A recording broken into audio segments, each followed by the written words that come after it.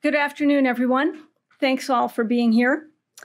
Today, the Department of Justice has dealt a significant blow to the crypto crime ecosystem. Justice Department agents and prosecutors, working in partnership with the Treasury Department and French law enforcement, have disrupted Bitzlato, a China based cryptocurrency exchange notorious for laundering criminal proceeds from the dark net. And last night, agents of the FBI arrested Bitzlato's founder, Anatoly Legkodymov.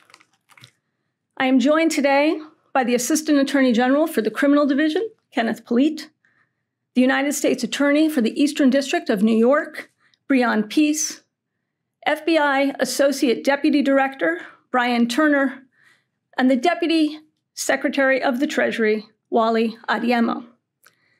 Today's law enforcement actions put all of those who seek to exploit the cryptocurrency ecosystem on notice that the Department of Justice will use every tool working along with our partners, every tool that we have to attack the criminal use of the dark net and cryptocurrency.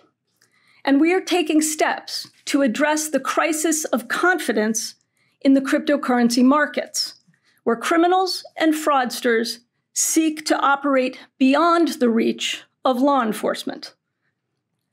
Malicious actors, working from what they think are safe havens, are exploiting crypto markets and flouting the laws and the regulations that guard the integrity of our financial system, and along with it, the earnings and investments of law abiding Americans. It's no secret that cyber criminals rely on these bad actors to launder their criminal proceeds from cryptocurrency into fiat currency. But today, thanks to a coordinated international effort, Justice Department prosecutors and agents have disrupted a busy corner of this criminal ecosystem. Last night in Miami, FBI agents arrested Legkodymov, a Russian national and the founder and majority owner of Bitzlato, a Hong Kong registered cryptocurrency exchange. The charges allege that he operated Bitzlato as a high tech financial hub, as he put it, that catered to, quote, known crooks. Bitzlato failed to implement safeguards required by US law, safeguards that enable law enforcement to detect and to investigate financial crimes. Instead, Bitzlato facilitated the transmission of hundreds of millions of dollars in illicit funds, fueling darknet marketplaces, and laundering the proceeds of ransomware attacks. For example, as alleged, Bitzlato was a crucial financial resource for the notorious Hydra darknet market, the disruption of which I announced from this podium last April, at that time with our German partners. Now, Hydra was the world's longest running and largest darknet marketplace, responsible for 80% of the world's darknet transactions. Together, Hydra and Bitzlato formed a high tech axis of crypto crime. Hydra buyers funded illicit purchases of illegal drugs, stolen financial information, and hacking tools from crypto accounts hosted at Bitzlato. And sellers of these illegal goods and services at Hydra sent criminal proceeds to accounts at Bitzlato, all to the tune of over $700 million in direct and indirect transfers between 2018 and 2022. Now, I've said before that we would go after the entire ecosystem that allows cyber criminals and illicit actors to flourish. Today's action against Bitzlato, as with the disruption of Hydra, reflects another critical step in executing on that strategy. At the time of Legkodymov's arrest, and continuing into the early hours this morning, the department's international and domestic partners engaged in a coordinated campaign of disruption. That campaign includes law enforcement actions in multiple European countries, the seizure of Bitzlato's servers, and enforcement actions by the Treasury Department here in the United States. These actions show not only the broad scope of the defendant's alleged crimes, but also the international net dropped by law enforcement to stop him and his business partners. With these actions, today marks the end of the Hydra Bitzlato crypto crime axis. We've also busted the business model of the cyber criminals that Bitzlato supported. And coordinated operations like these against Bitzlato, using all tools and designed for maximum impact, are the linchpins of international success against cybercrime. Our actions also mark the most significant enforcement effort against a cryptocurrency exchange by the National Cryptocurrency Enforcement Team, launched last year following a comprehensive cyber review led by my office. To all of those exploiting the cryptocurrency ecosystem to enable crypto crime, we have a clear message. We will not only target hackers, fraudsters, and criminals that mask their profits in cryptocurrency, we are also unleashing the full force of the Department of Justice on the illicit actors and entities that support cyber criminals like Legkodymov and Bitzlato operating offshore or moving your servers out of the continental US will not shield you. And whether you break our laws from China or Europe or abuse our financial system from a tropical island, you can expect to answer for your crimes inside a United States courtroom. I want to thank the agents, analysts, and prosecutors who worked diligently to investigate this case and finally, a tremendous thanks to our foreign partners and the Treasury Department for their collaboration in this and other cryptocurrency and cybercrime cases. And now let me turn the podium over to Assistant Attorney General Polite.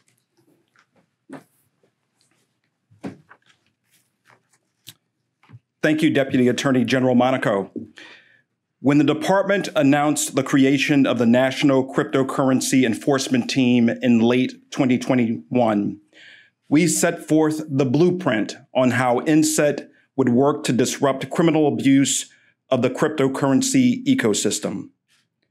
We named Eunyoung Choi, an accomplished leader on cyber and cryptocurrency issues, and a seasoned department prosecutor to be NCET's first director we said that NCET would investigate those who enable the use of digital assets to facilitate crime, with a particular focus on virtual currency exchanges and services.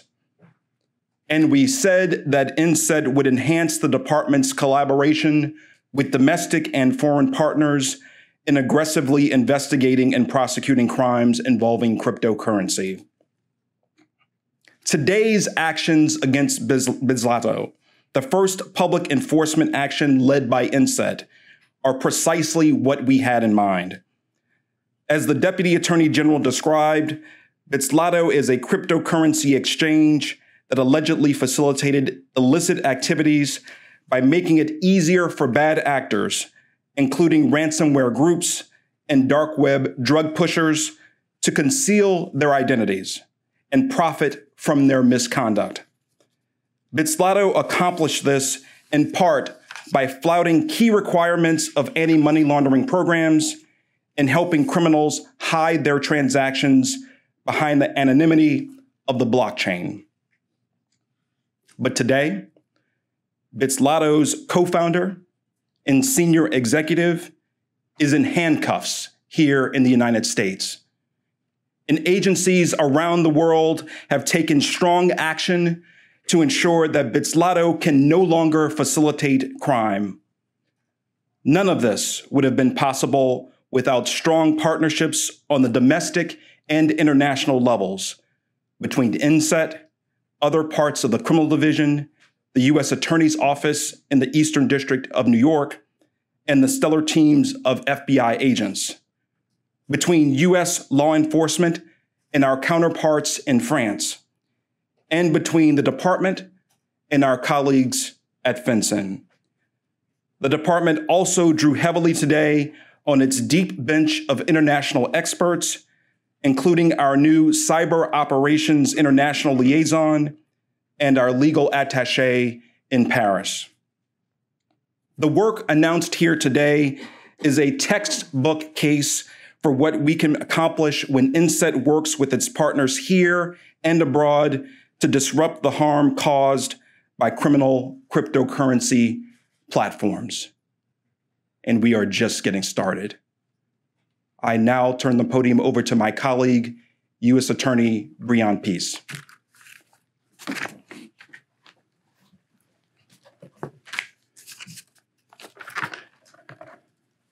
Thank you, Assistant Attorney General Polite.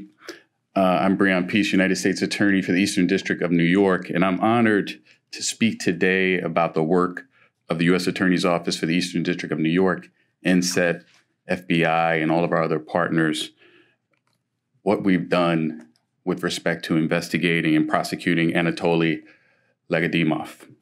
Today, my office unsealed charges against Legkodymov for operating Bitzlato, as you've heard, a cryptocurrency exchange whose stock in trade was that it allowed users to open accounts with minimal identifying information. The result was that Bitzlato became a safe haven for criminals, including drug dealers and ransomware groups. They knew that when the police traced their funds to Bitzlato, Bitzlato would not be able to turn over its users' true identities. The defendant, who is Bitzlato's majority shareholder and sat atop of its organizational chart, knew full well about these violations. Bitzlato's executives communicated on their encrypted chat system about the proliferation of drug dealers on their exchange and the way that their policy of collecting no identifying information had brought on a flood of, in their words, quote, dirty money, end quote. Bitzlato conducted its business in a brazenly lawless manner that is directly at odds with the rules of honesty and integrity that must govern the financial marketplace.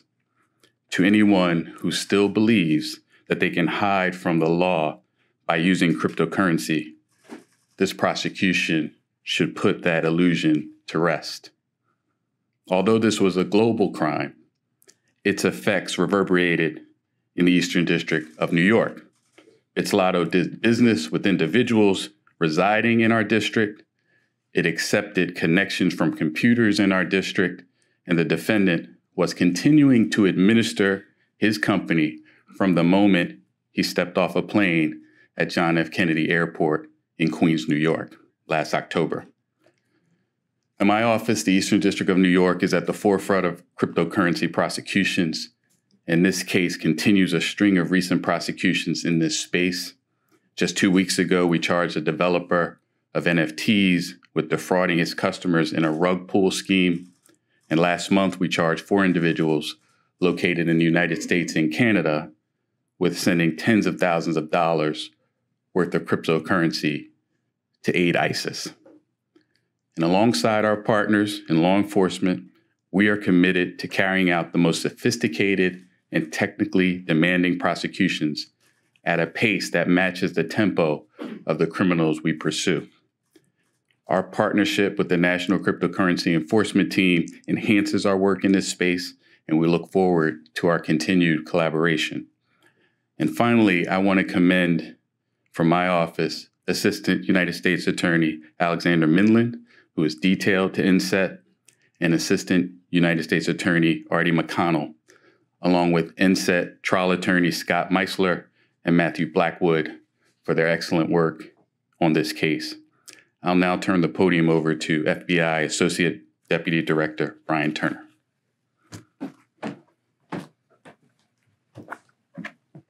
Thank you, Breon. I am pleased to represent the FBI here today as part of this announcement of the arrest of Anatoly Legkodymov. The arrest that is the culmination of more than a year of hard work by our men and women in the New York office and also across the United States and overseas. Legkodymov is a Russian national living in China who was arrested in Miami for the crimes he committed in the United States by operating an unlawful cryptocurrency exchange registered in Hong Kong. He probably thought his cybercriminal enterprise and the dirty digital money that cycled through it were outside the reach of the US government. But he and his Bitzlato cryptocurrency exchange were not operating with impunity. Neither was the illicit Hydra Darknet marketplace in which Bitzlato exchanged over $700 million, as the Deputy Attorney General mentioned a moment ago. We shut down and locked the door on Hydra last April. Both of these actions were made possible because of the FBI's strong relationships with our law enforcement partners around the world. Over the course of our global investigation into Bitzlato, we found that more than $15 million of the ransomware proceeds have been laundered through the exchange, making the platform a clear enabler for ransomware actors. Unfortunately for the defendant and Bitzlato, one thing that the FBI understands is how to take down cybercriminal organizations. And our overall strategy to combat cybercrime involves going after all key parts of that criminal ecosystem mentioned by the Deputy Attorney General the actors, their finances, and the supporting infrastructure. When you combine this arrest with the French authorities' uh, dismantlement of Bitzlato's uh, e- uh, financial uh, uh, infrastructure, digital infrastructure, and the actions taken by the Treasury Department that will be spoken about in just a minute, I'd say we did exactly just that. I can tell you by the folks that I'm standing up here with that we are committed to taking a whole of government approach to the fight against financial crime and cybercrime, a fight to protect our country, its citizens, and our national security. So let this be a reminder to the cyber criminals around the world. No matter where you are, no matter how much you twist and turn to cover your tracks, there is a risk and there will be consequences. I'd like now to introduce Deputy Treasury Secretary Wally Adeyemo for some additional remarks.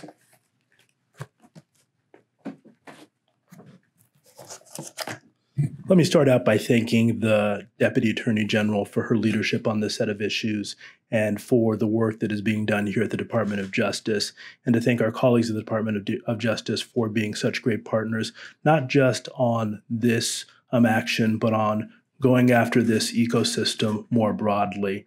I think that um, in addition to thanking um, our colleagues here, I want to thank the talented men and women of FinCEN for using a new set of authorities that Congress you gave us to go after illicit financial action in Russia so quickly and to do it so effectively. One of the things that those people in this ecosystem count on, those who are cyber criminals that work globally, is that they will be able to escape prosecution in the United States or in any other jurisdiction because of a lack of coordination what today's action actually proves is that is not the case. Working closely with French authorities, we've taken an action here that should demonstrate to cyber criminals around the world that we will work in a global, consolidated fashion to take action against them, to protect our citizens, and to protect the global financial system. Uh, today, as part of the U.S. government's action um, against the virtual currency exchange Bitzlato, Treasury's Financial Crimes Enforcement Network has taken steps that expose and disrupt Russian crim- cyber criminals and their enablers. FinCEN is officially identifying Bitzlato as a primary mo- money laundering concern in connection with Russia's illicit finance. Bitzlato has repeatedly facilitated transactions for Russian affiliated ransomware groups, including Conti, a ransomware as a service group that has links to the Russian government and to Russian connected darknet markets.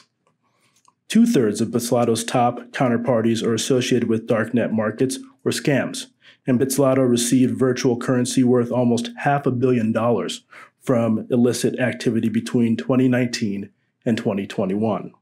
Nearly 50% of all known Bitzlato transactions during this time involved Russian illicit finance or otherwise risky sources. Bitzlato is particularly active in facilitating illicit activity, but it is ultimately part of a larger, larger ecosystem of cyber criminals that are allowed to operate with impunity within Russia. It is well known that Russia is a haven of cybercriminals, where the government often enlists them for its own malicious purposes. The majority of ransomware incidents reported to FinCEN in the second half of 2021, for example, were conducted by Russia related cyber ransomware actors. At a time when Russia is waging a brutal and unjustified war in Ukraine, and as it seeks to circumvent sanctions and governance controls to fill its coffers and sustain its violence, we will not tolerate criminals enterprises that enrich Russia's malicious interests. Because of its significant operations in and connection to Russia and Russian illicit finance, Bitzlato threatens U.S. national security, the integrity of the U.S. and international financial sector, and business and institutions worldwide. Identifying Bitzlato as a primary money laundering concern effectively renders the exchange an international pariah. It imposes special measures on covered financial institutions, prohibiting them from transmitting funds to or from Bitzlato or from any account or wallet administered by or on behalf of Bitzlato. Treasury's actions today sends a clear message that we are prepared to take action against any financial institution, including virtual asset service providers, with lax controls against money laundering, terrorist financing, or other illicit finance.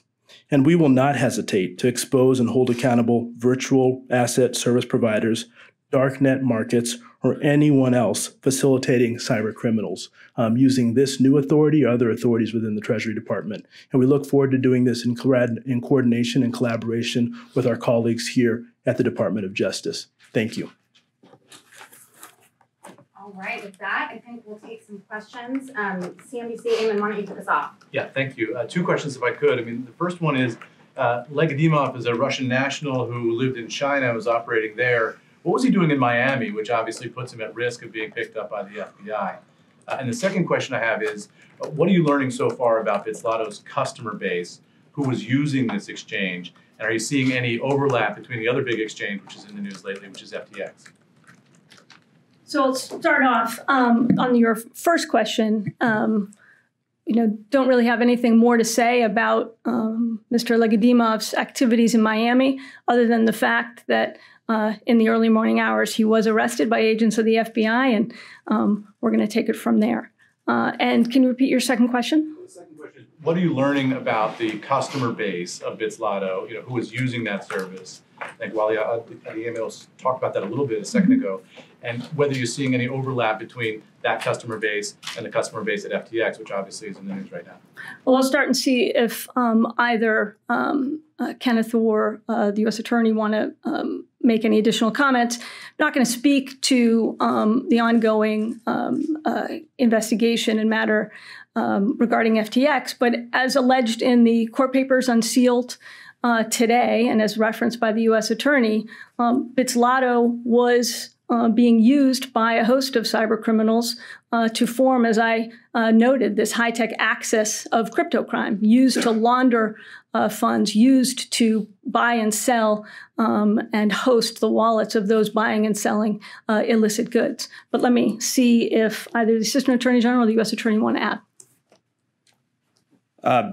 Just to second the comments from our Deputy Attorney General, I would simply note that the defendant here has been charged in a criminal complaint uh, there is always a possibility that additional charges may follow, and in particular, our investigative efforts continue both here and abroad. All right. Uh, Sadie, Wall Street Journal. Hi there. Um, this question's for the deputy. These que- these questions are for the deputy attorney general. Um, I'm wondering what message these coordinated actions should send to the broader crypto markets and if there is any sort of geopolitical significance to the fact that he was living in China uh, um, but was a Russian national. And also, while we have you up here, I am hoping that you might say whether you anticipate your specials specials counsel investigations will be wrapped up by the end of the year when the midterm election cycle is in full swing. Well, on your second question, uh, I've got no predictions to make and nothing to add uh, to what the Attorney General announced last week.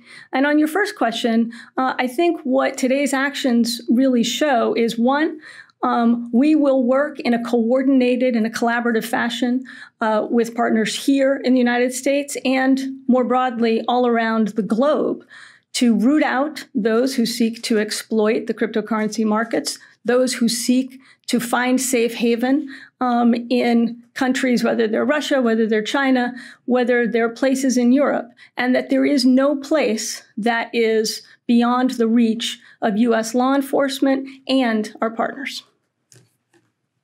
Uh, Daphne from Reuters, one of our friends from Treasury. Thank you so much. Uh, did you find any link between Bitzlato and Russia's conflict in Ukraine? And did Russian actors use Bitzlato to circumvent sanctions imposed as a result of the conflict in Ukraine?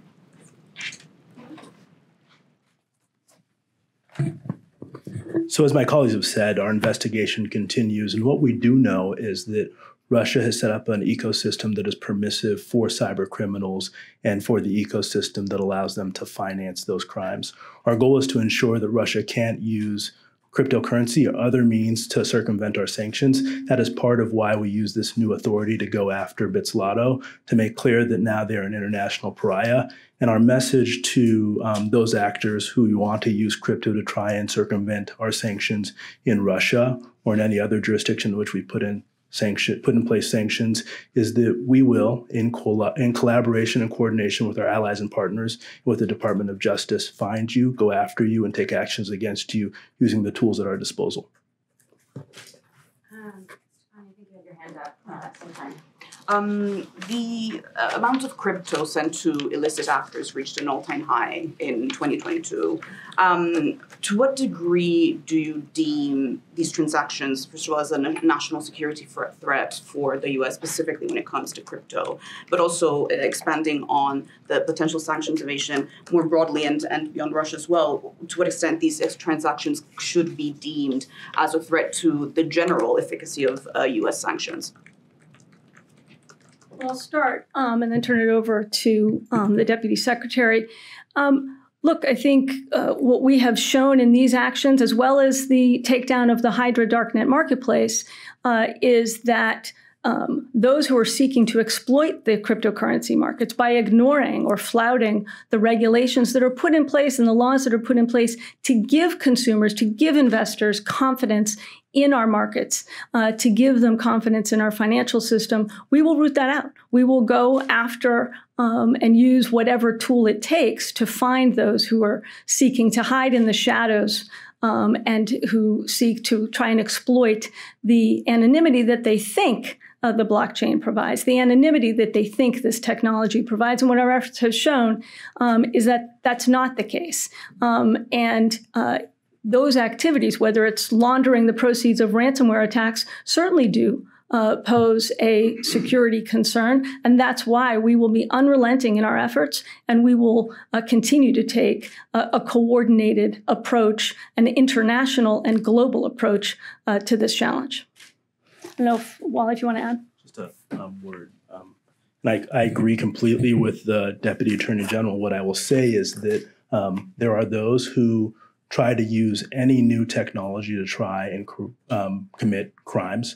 Um, and here, cyber criminals are attempting to use new technology when it comes to virtual assets. And our message to them and our message to the industry is that we, we expect them to follow the same rules of the road that are followed by other financial institutions and intermediaries, and that that ecosystem is a place where we will not permit illicit finance to go on. The action today should be seen by that industry and by actors there who seek to try and evade our sanctions or to violate laws or to in some ways impact our national security as a tool that we will use in the future when it comes to Russia and illicit finance. But as I said earlier, we have other tools that we're prepared to use as well because um, our view is that virtual currencies, the traditional financial system, should not be used to transmit an illicit finance, and we're prepared to act to make sure that that is the case. Uh, Question, Alex Mallin, ABC. So if convicted, I saw this defendant faces a max of five years in prison with the scale of wrongdoing that you kind of all, have all outlined. What do you say to people who would kind of say that the punishment here doesn't seem to fit the crime? And then for the deputy, the White House has been saying uh, since the, the news of these, these classified documents were found broke that they hadn't been more forthcoming because of their cooperation with the Justice Department. To be clear, has the Justice Department at any time since November told the White House that they cannot discuss the facts of this case? So on your second question, I'm not going to comment on anything beyond what the Attorney General has said uh, last week in announcing the appointment of a special counsel uh, and what he has said more broadly, uh, which is that we don't talk about our investigations uh, in a public forum. And for your first question, I'll turn it over to the U.S. Attorney. Sure. So, so to be clear, this is, in our view, a serious crime, um, which we are taking very seriously. Um, the outcome of the case is premature to to anticipate that, and it's important to note that the investigation is ongoing. So there could be, as the Assistant Attorney General said, additional charges down the line. I know we didn't get to everybody's questions. Um, we've got some subject matter experts here for folks that have um, on topic questions, um, and I think that's going to do it for us today. Deputy Attorney General, can you speak to the Republicans who say Thank that very you're being unfair to the former president? Thank you.